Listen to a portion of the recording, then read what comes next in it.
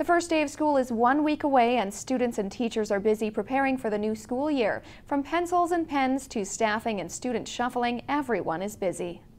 Cleaning, sorting supplies, and decorating. That's keeping kindergarten teacher Nikki Beach busy. It's colorful, probably too colorful, probably too stimulating, but it looks nice. Beach has bought all the decorations herself or recycled from her own children. The school year hasn't started yet, but that doesn't mean she's not working.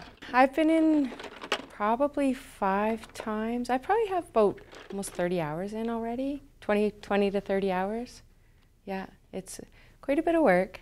While teachers are setting up, students are also preparing for class. I'm excited for everything. I really like science that they do. I really like art that they do. I love everything. Behind the scenes, the school district has been busy placing new principals, shuffling staff, and of course, making up classes.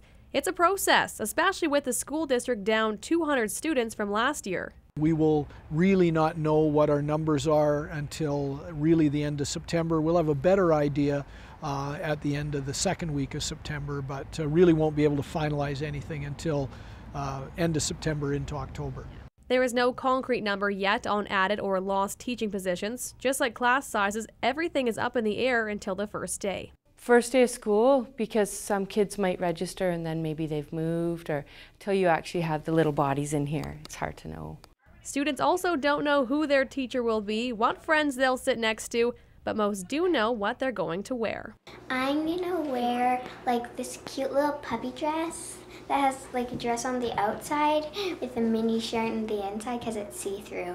The countdown is on until the summer recess is over, but for Beach, all the work ahead of time is worth it. Oh, for sure. They poke their little heads in that door, and I mean, it's, yeah, I think it's worth it for me, anyways, because they're excited to come then. Students and teachers start with a half day on September 4th before buckling down for a full day on the 5th.